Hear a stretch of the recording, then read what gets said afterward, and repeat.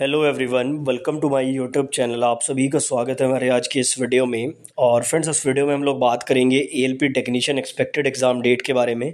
अगर आपने भी एएलपी टेक्नीशियन का फॉर्म भरा है तो मैं जानता हूँ कि बेसब्री से आप लोग एग्ज़ाम डेट्स का इंतज़ार कर रहे हैं। क्योंकि ऑलरेडी बहुत लेट हो चुका है एग्ज़ाम में और ए के पहले नोटिफिकेशन का ही एग्ज़ाम अभी तक नहीं हुआ है। तो बाकी के technician R R B J N group D बहुत लेट एग्ज़ाम्स होने वाले हैं। लेकिन आज के इस वीडियो में ए टेक्नीशियन की एग्ज़ाम डेट्स के रिगार्डिंग कुछ इन्फॉर्मेशन आपको देने वाला हूँ। वीडियो छोटा सा रहेगा हमेशा की तरह एंड तक ज़रूर देखें।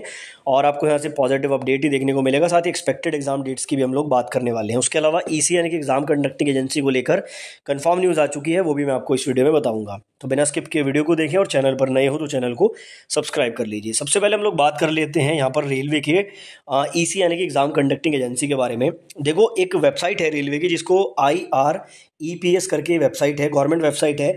और जो भी रेलवे के टेंडर वगैरह खुलते हैं या बंद होते हैं, उन सभी का अपडेट यहीं पर मिलता है। अभी तक यहाँ पर रेलवे की जो एग्ज़ाम कंडक्टिंग एजेंसी को लेकर टेंडर थे, वो सभी टेंडर ओपन दिखा रहा था। लेकिन अभी दो दिन पहले जो है ये टेंडर फाइनलाइज हो चुके हैं और यहाँ पर जो दो टेंडर ओपन थे, वो अब फाइनलाइज हो चुके हैं। तो यहाँ से ये कंफर्म हो जाता है कि भाई जो एग्ज़ाम ना होने का एक बड़ा कारण था कि भाई ई e फाइनल नहीं है एग्ज़ाम कंडक्टिंग एजेंसी का चयन नहीं हुआ है, वो यहाँ से डाउट हट गया। यानी कि एग्ज़ाम कंडक्टिंग एजेंसी अब फाइनलाइज हो चुकी है तो पेपर की जो एक बाधा है या एग्ज़ाम होने की जो एक बाधा है, वो ख़त्म हो चुकी है।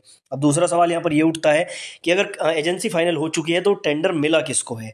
तो मैं आपको बता दूँ टेंडर टीसीएस के पास ही गया है और ये मैं इतना कॉन्फिडेंटली इसलिए बोल रहा हूँ, क्योंकि देखो, जिस टाइम पर ग्रुप डी और एनटीपीसी का एग्ज़ाम नहीं हो रहा था कंपनी का चयन हो रहा था, हमारे एक सब्सक्राइबर हैं, काफ़ी पुराने सब्सक्राइबर हैं, वो टीसीएस में ही जॉब करते हैं, उन्होंने उस टाइम पर भी हमें कंफर्म न्यूज़ दिया था कि टेंडर टीसीएस को मिलेगा और आगे ऐसे एग्ज़ाम होगा, और वो न्यूज़ बिल्कुल करेक्ट हुई थी।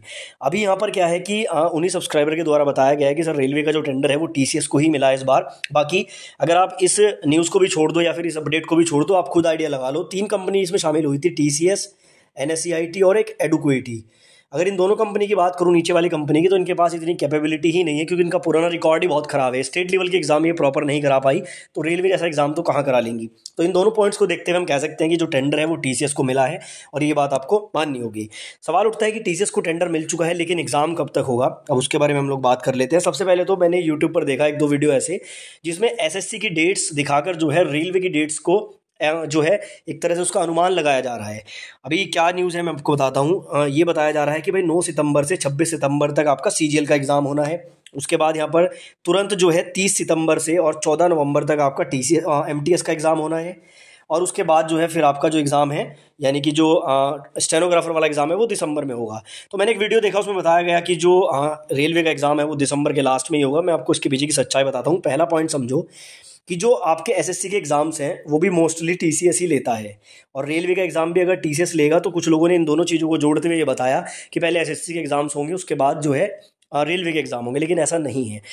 मुझे 2018 से वीडियो बनाते हुए हो गए हैं रेलवे पर, और मैंने ये देखा है कि एसएससी के कारण कोई भी रेलवे का एग्ज़ाम डिले नहीं होता, यानी कि ऐसा कभी नहीं होता कि भाई एसएससी का एग्ज़ाम है तो रेलवे के एग्ज़ाम को मत कराओ। रेलवे और एसएससी दोनों के एग्ज़ाम साथ साथ चल सकते हैं। टीसीएस के पास इतनी मैन पावर है, इतनी कैपेबिलिटी है कि ये दोनों के एग्ज़ाम साथ साथ करा सकते हैं। तो पहला पॉइंट तो ये है कि जो एसएससी की डेट्स दिखाकर आपको बताया जा रहा है, ये बिल्कुल गलत है, ऐसा नहीं है। लेकिन सवाल फिर घूम फिर के ये आता है कि एग्ज़ाम आखिर होगा कब? तो चलो मैं आपको बताता हूँ, देखो, आज है यहाँ पर आपकी आठ सेप्टेम्बर 2024 अभी तक ए एग्ज़ाम डेट्स का कोई अता पता नहीं है और सिर्फ़ ए की ही बात करेंगे क्योंकि टेक्नीशियन की तो बात अभी करना ही बेकार है। तो मान के चलो, अभी ये दो दिन पहले ही आपका टेंडर फाइनलाइज हुआ है, अब इसकी प्रक्रिया होंगी, तैयारी करने में टाइम लगेगा, क्योंकि अगर लाखों बच्चों का एग्ज़ाम लेना है तो बहुत सारा इंफ्रास्ट्रक्चर मेंटेन करना पड़ता है।